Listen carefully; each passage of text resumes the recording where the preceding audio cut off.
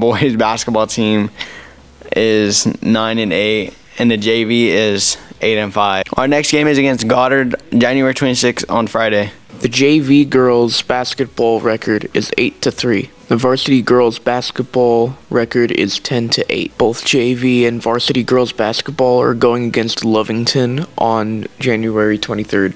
On January 27th, the wrestling team is having a meet in Santa Fe.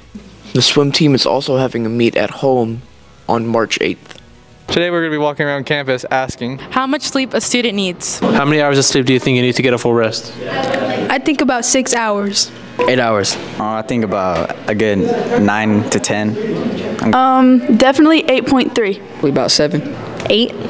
Five. Like 12. What are three essentials you have to have in your backpack? My phone, my keys, and my charger.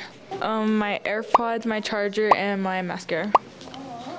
Um, my AirPods, mascara, and my Chromebook. my AirPods for sure. I can't go. I can't go without my AirPods. I gotta listen to my music. Aquaphor. My lips be getting a little dry and crusty here, so yeah, I definitely gotta keep my Aquaphor on me and a charger. Um, Chromebook, pencil, and food. Um, my Chromebook and a pencil.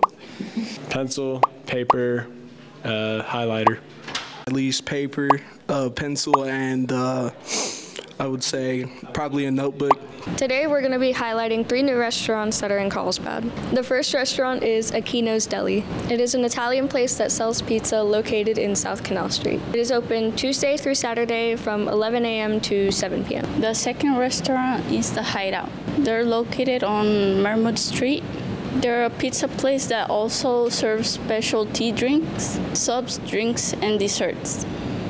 For the third restaurant, Friends and Corner Grill, they will be serving burritos for breakfast and also tacos for lunch and more. They are located on Pate Street. Feel free to come by and check out these local restaurants.